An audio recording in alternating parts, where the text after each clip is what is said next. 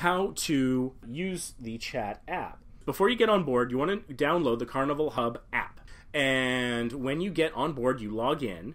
You used to log in with your folio number, but now you can log in with the same credentials you use for their website and just let them know when you're on board, basically. And then if you click on people uh, and click on somebody, or you can go to the chat function, there's a couple of different ways in it that you can get to that chat screen, and there will be the pop up that says, Oh, activate the chat plan for $5. You have to agree to the terms and conditions and click accept. And so when you do that, it will charge your Sail and Sign account $5. If you have OBC, it will obviously deduct against the OBC, particularly if it's the first thing you do. And if you haven't spent all your OBC yet. But it's just that easy. And so then whenever you can go into the chat or you can go through the people function, and the people function gives you a list of everybody on the ship, you can search, find somebody, and as long as they also have the chat plan, you can message each other. You can't send pictures to each other. You can't send files. There's some limited emojis, so it has some limits, but it's still pretty good. So let's talk now that I've explained to you how you can get that working on your Android or iOS device. It's flaws. It's it's not perfect. The messages don't always deliver instantly. However, I'm not entirely certain that that's the flaw of the app.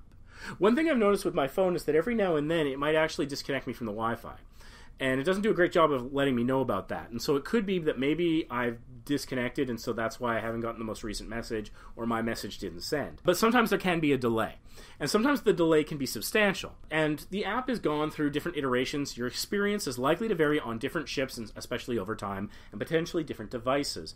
But one thing that I've taken to doing with some of my traveling companions in the chat function of the Hub app is we would put our own timestamps on it if it was something that was time sensitive in a sense. So, like, let's say that we're going to go to the hot tub, but maybe we're only going to go to the hot tub for like half an hour. And so we could say like, "Hey, we're headed to the hot tub," and then I might just in parentheses put like 1:30 p.m.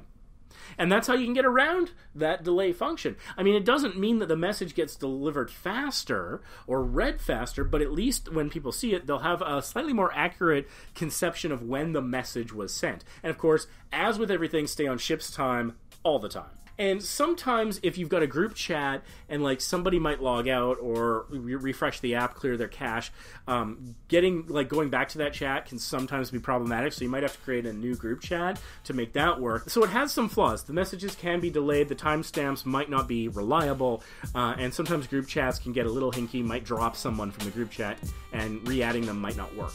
Those I think are relatively minor issues. I do hope that they correct them and address them with subsequent updates and improvements to their network network.